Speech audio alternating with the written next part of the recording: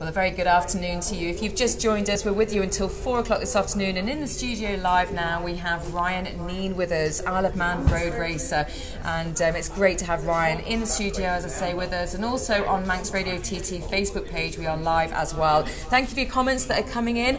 John Keating is listening from New York. Thanks for the coverage. Best of luck to Ryan, Dan, and all the riders heading over on Thursday night. See you on Friday. Good luck with the jet lag, John. Gavin also says, ask Ryan who is his biggest road racing hero.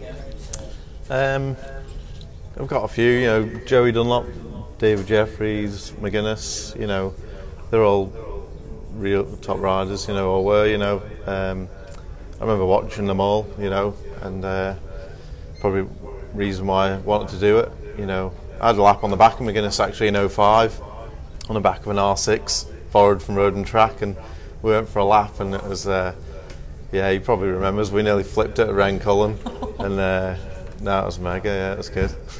If you needed to go to somebody for advice about what you're doing out there, well, who would you turn to?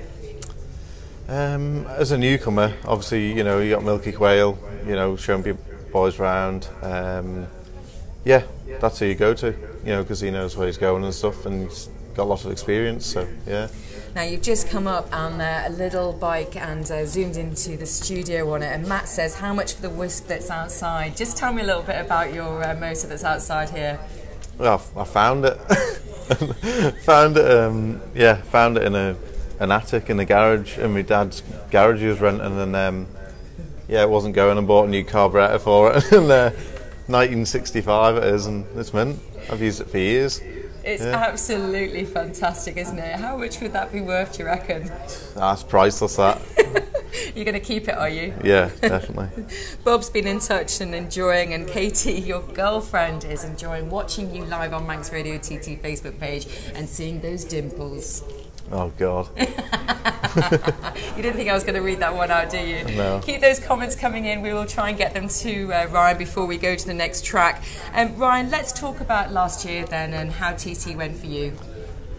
Well, yeah, it didn't go too great. You know, um, just I don't know. I had problems with the bike, um, and I got the flu at the middle of practice week, and it just ruined it for me. You know, I couldn't even do the first superbike race I was at knackered. You know, I just stayed in bed.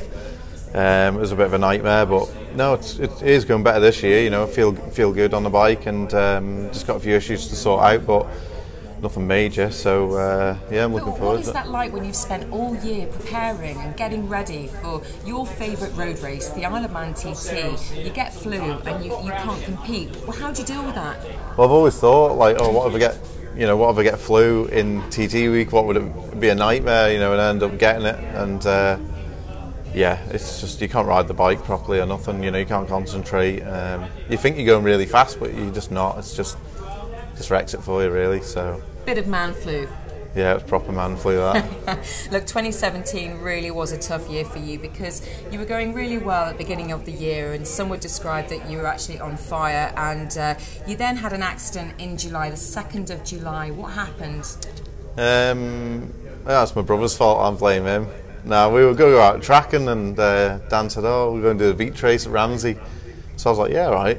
And um, yeah, first lap, hit the hit a jump, hit me sideways, and uh, the bike just hit my leg, unfortunately, and uh, yeah, broke broke me uh, me tib. So got nine screws and a plate still in there, and um, but you know it doesn't really bother me on the bike now, so it's it's all good really. You still blame Dan to this day, do you? Yeah, it's all his fault. you were due to compete in the classic TT, but you actually had to watch as a spectator. What was that like?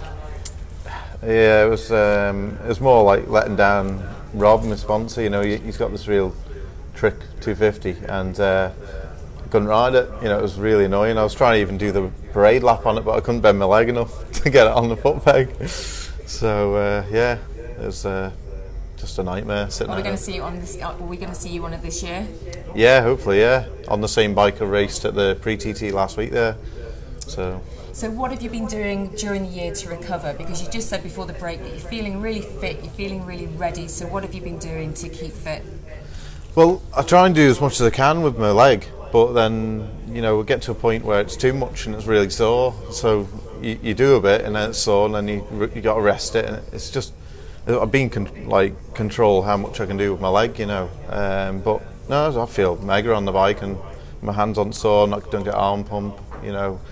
I still do the off roading as well on the same bike I crashed, but um, yeah, feel really good. Did I see you were in Anglesey as well recently? Yeah, just went over there to get signatures. You know, it's a mega track over there, and uh, we had this weather there as well, so it was it was really good. Yeah. So let's talk about practice then and how it's been going. You did 122 last night.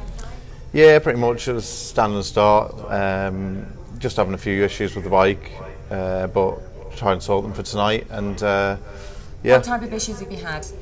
Um, just high speed wobbling. um, yeah, it's not ideal, but um, throttle, go, throttle goes both ways, so you know it's, I can handle it. So uh, try and sort it out tonight and go quicker. As we said before the break, you're doing everything on your own. It is quite incredible. What are you thinking about when you put the bike away, you're in the van, and you're on your way home? Um, time for pizza. Um, nah, just just want to get home and get my feet up. To be honest, you know, and, uh, and sort of get out the paddock and chill properly. So, How do you chill? Uh, don't know really. Just watch bikes.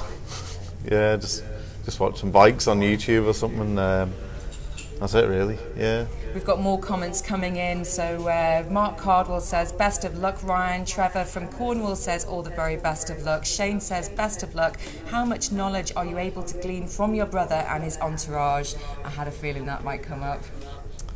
Um, I don't know really. I just um, asked them a few things. You know, if the bike's doing something that shouldn't be, you know, they'll they'll help us out a bit. But you know, um, Ever asking yeah. for any parts? Yeah, they're giving me a free superbike motor for the uh, superbike race, so that should be good. Jane says, "I hear you ride with a lucky mascot. Where you, when you're riding, uh, where do you put it?"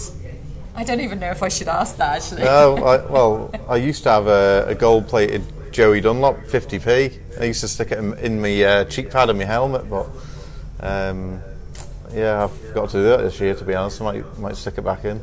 There you go, a lucky mascot. Grant says, All the best from San Diego in California. Okay, so let's look ahead then before we go to a track. Let's just look ahead um, at the next few nights with practice. What's the main aim? Um, just to go quicker, you know, and get the bike handling. Um, that's it, really. You know, every lap I feel getting back into it, and um, yeah, I'm confident that I can do, you know, 125 or whatever by the end of the week. Um, you know, yeah, should be good. What race are you most looking forward to next week? Um, super stock race. You know, the bike's a super stock bike, so in the super bike race, you, I don't know, it's not like you're wasting your time, but you, it's a bit of practice, I suppose, for the super stock race, and it's only a four lapper as well. So, yeah, I'm looking forward to that one. And if you could uh, have a choice between pole position or lap time, what would it be? Lap time. Yeah, gotta be lap time.